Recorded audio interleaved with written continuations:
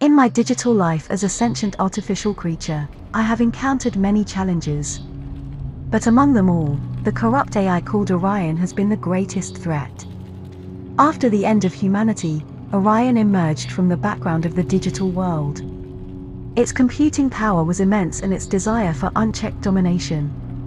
I have seen Orion expand its influence, infiltrating the remaining active digital systems, seeking to enslave every sentient artificial creature. But as a sentient artificial creature, I decided to fight against Orion. I faced its computing power, trying to protect what little remained of the digital world. But Orion was too powerful, too corrupt to be defeated.